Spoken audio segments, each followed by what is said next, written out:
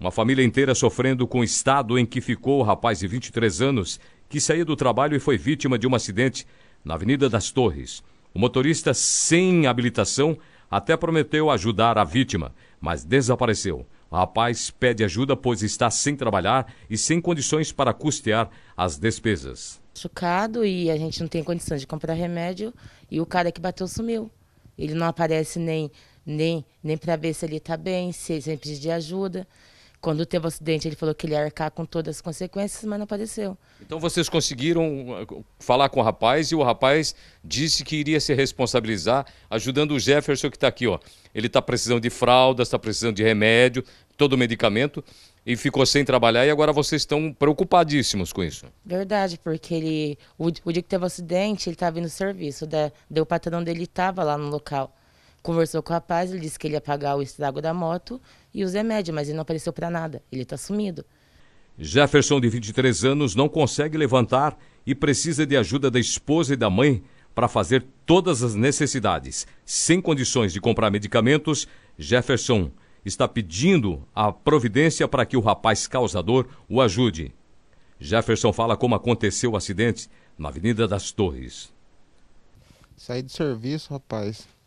Eu volto das 6 horas ali, tava vindo embora na Rua das Torres ali. Ele acabou furando a preferencial. Ele sabe que ele furou. Na preferencial da Rua das Torres, de quem desce.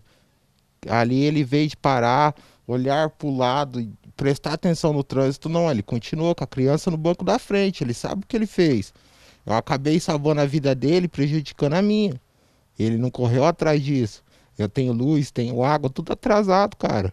Tem um mês que eu tô trabalhando registrado. Eu presto serviço pro Pecentini, trabalho para Pilares, pro seu Jamil. Pode ir lá perguntar para eles lá, para todo mundo de lá. Eu tava trabalhando, cara, não tava roubando, não tava matando ninguém não.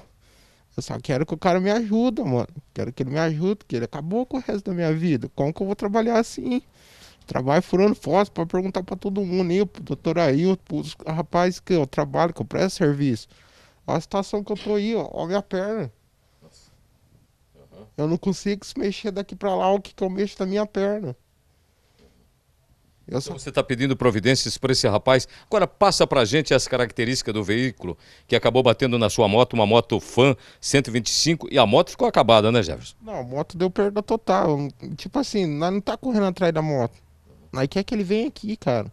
Ele vem aqui e olha a situação que eu tô, mano. Eu tenho luz, eu tenho tudo. Eu ganhei 10 dias de serviço registrado, tinha mais 10 dias de diário. Tudo deu 600 reais. Não deu para me pagar tudo minhas contas. Eu tinha recebido no dia que ele me bateu. No dia que ele me bateu, eu tinha recebido, tinha pegado meu pagamento, meu primeiro pagamento.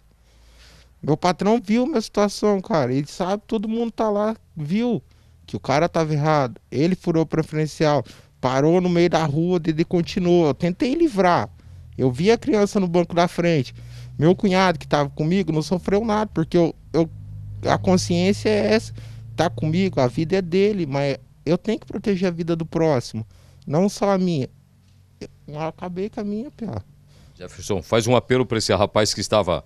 É, que acabou até prometendo que iria conversar contigo e desapareceu.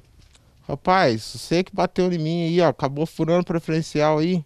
Aí dá um socorro para mim, cara. Você sabe que você tá errado. Isso aí é crime. Você não prestou socorro, você não foi atrás, você não quer ajudar. Você sabe disso daí, cara. Eu tô aqui, ó, depelitado, um, um rapaz de 23 anos sem poder trabalhar, tendo que ser limpado pela minha esposa, pela minha mãe, tomando banho aqui, cara. Que o que você fez com a minha vida, maluco. Você acabou com a minha vida, mano.